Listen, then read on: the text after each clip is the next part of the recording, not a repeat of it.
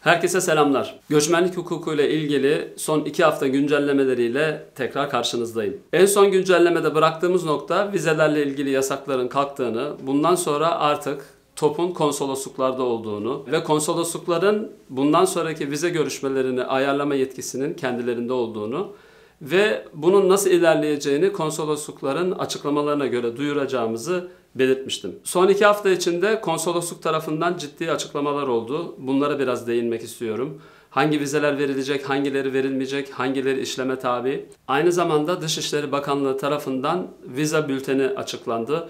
Buna göre bazı değişiklikler var, gelişmeler var. Onlardan bahsetmek istiyorum. Bir de Amerikan Dışişleri Bakanlığı'nın Türkiye'ye seyahatle ilgili olarak yaptığı bir açıklama var. Ona değinmek istiyorum. Bu gelişmeler oldukça önemli ve hepsini tek tek açıklamaya çalışacağım.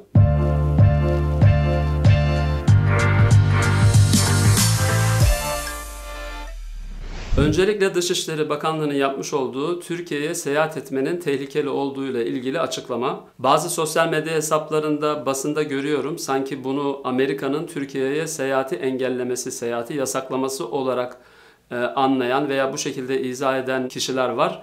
E, bu doğru değil. Amerikan devleti Department of State yani Dışişleri Bakanlığı her zaman ülkelere seyahat etmenin güvenli olup olmadığı ile alakalı zaten kendi web sitesinden açıklama yapar. Şu anda Türkiye ile ilgili seyahat yasağı diye anlatılan şey şu aslında. Türkiye'ye seyahat etmek sakıncalı. Amerikan devleti bunu açıkladı. Bunu niye açıkladı? Artan Covid vakalarından dolayı. Yani artan Covid vakalarından dolayı Türkiye'ye seyahat etmenin Amerika devleti sakıncalı olduğunu düşünüyor ve vatandaşlarını bu konuda uyarıyor. Aslında işin özü bu. Bu seyahat tavsiyesinin içinde terör tehdidi de var. Ee, bu özellikle Türkiye'nin e, belli bölgelerinde terör tehdidinin de aynı zamanda şu anda yüksek seviyede olduğu.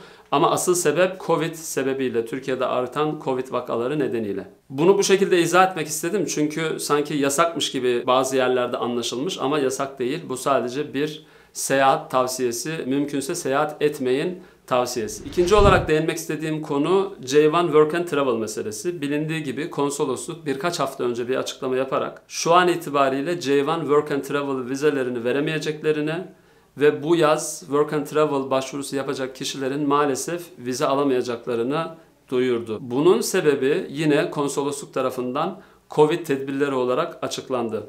Dolayısıyla ilk bahsettiğim seyahat tavsiyesini ve aynı zamanda J1 Work and Travel'ın bu yaz verilemeyeceği bilgisini bir araya getirdiğinizde ikisinde de Covid tedbirlerinin ön plana çıktığını görüyoruz. Peki J1 Work and Travel verilemeyecek açıklaması işler düzelirse, Covid azalırsa konsolosluk mülakat verebilir demek mi?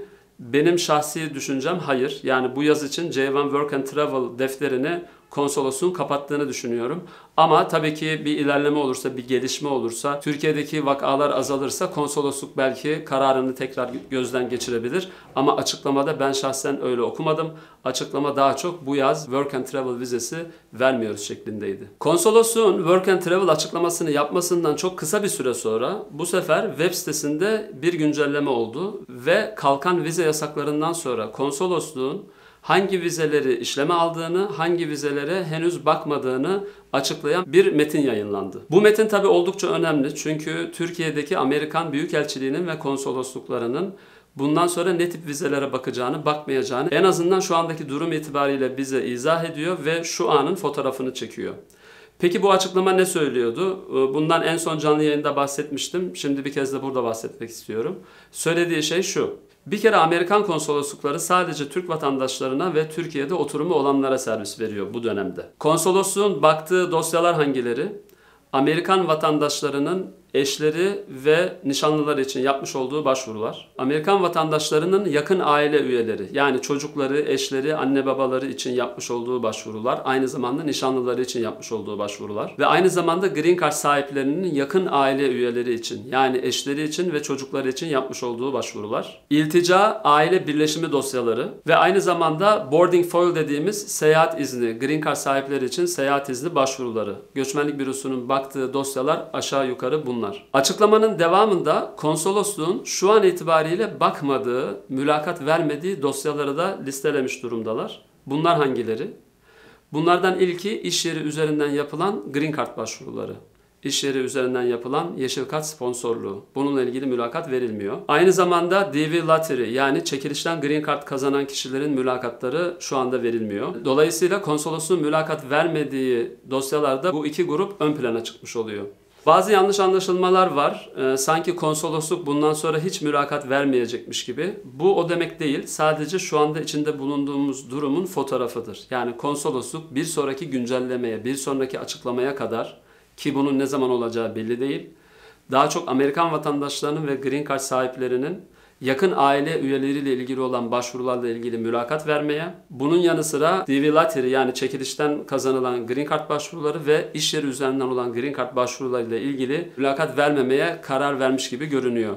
Dediğim gibi bu şimdilik böyle güncelleme oldukça biz de bunu duyurmaya devam edeceğiz. Peki çok sorulan bir şey konsolosluğun böyle bir şey yapmaya hakkı var mı? Daha önce de açıkladığım gibi vize yasakları kalktıktan sonra Dışişleri Bakanlığı bir açıklama yapmıştı ve konsoloslukların kendi bulunduğu bölgedeki duruma göre öncelikleri belirleyeceğini anlatmıştı. Bu öncelik belirleme listesinde Ankara'nın ve İstanbul'un yani Türkiye'deki Amerikan konsolosluklarının bu öncelik listesine göre hareket edeceğini anlamış oluyoruz. Buradan tabii ki önümüzdeki dönemde durum değişebilir. Değiştikçe güncellemeleri bildirmeye devam edeceğiz. Hepinize iyi günler diliyorum. Görüşmek üzere. Bye.